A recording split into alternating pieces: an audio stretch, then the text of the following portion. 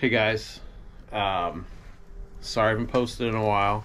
I've been doing name logs. That's what's underneath that canvas. I've got a ton of name logs done for Christmas, so I don't want to reveal anything yet on those. But today, I'm doing something different. I'm carving a channel cat. That's right, channel catfish. Goes with one of the name logs that I'm doing, so stay tuned. Watch this. It's gonna be awesome. Hopefully it works out good. I got some tricks I'm gonna do for like the whiskers and stuff to make them a little simpler and last a little longer.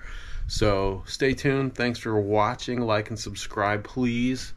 Uh, thanks for supporting my channel and check this out. It's gonna be badass. Look at all my chainsaw.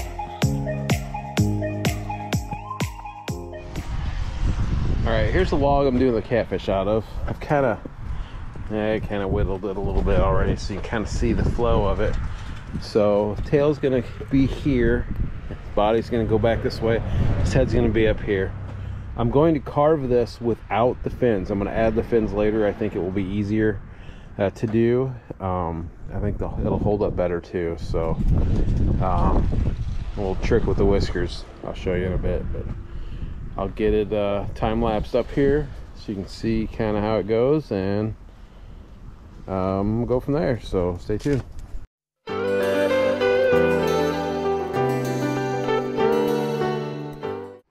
All right, I got the bark peeled a little bit just so I can sketch the profile of this catfish on this side.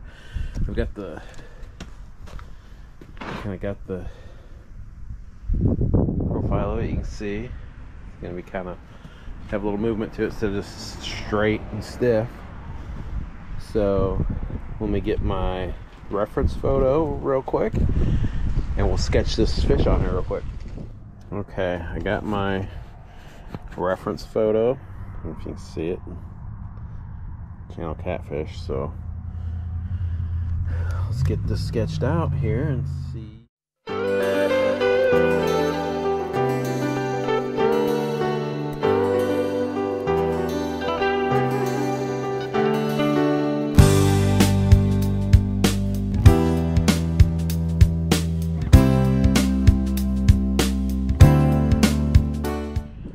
So we may adjust that as we're carving it, but that's the gist of how it's gonna look. I'll probably make it a little fatter than that, but just a uh, just a quick guide. So let's get to chopping.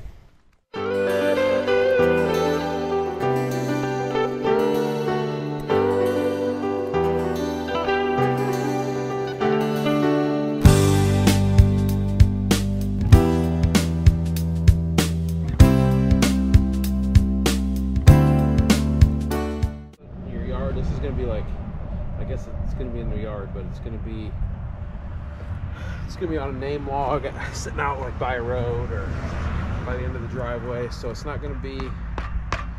Um, it's not gonna be a display piece up close in the yard where people are gonna, you know, walk up and notice it. This is something that people are gonna see from the roadway. So that's why the fins are thicker than normal. Um, couple more fins to add here here. But that's why the fins are a little thicker than normal because it's it's going to be further away. It needs to last a long time so you have the weather all the time. So that's the reasoning behind that.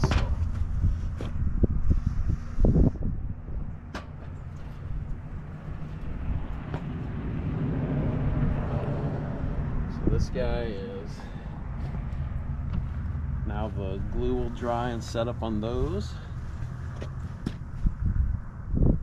And once that does, then I'll sand the fins down and make them a little nicer.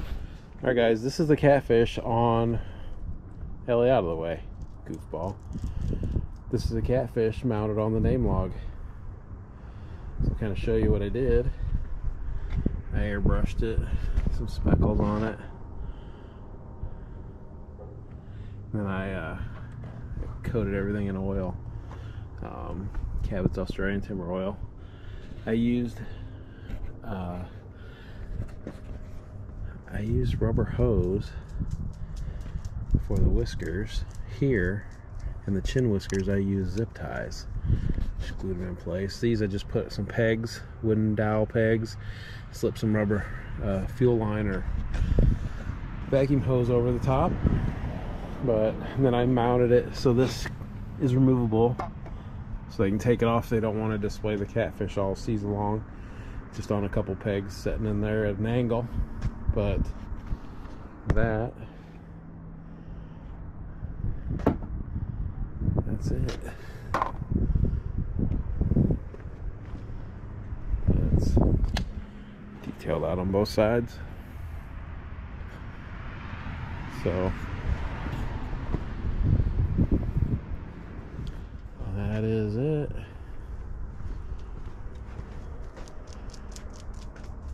and underneath that tarp there's a whole ton of christmas gifts that people have ordered so i won't show you those yet but as soon as i can i will. Thanks for watching guys and like and subscribe. Please please please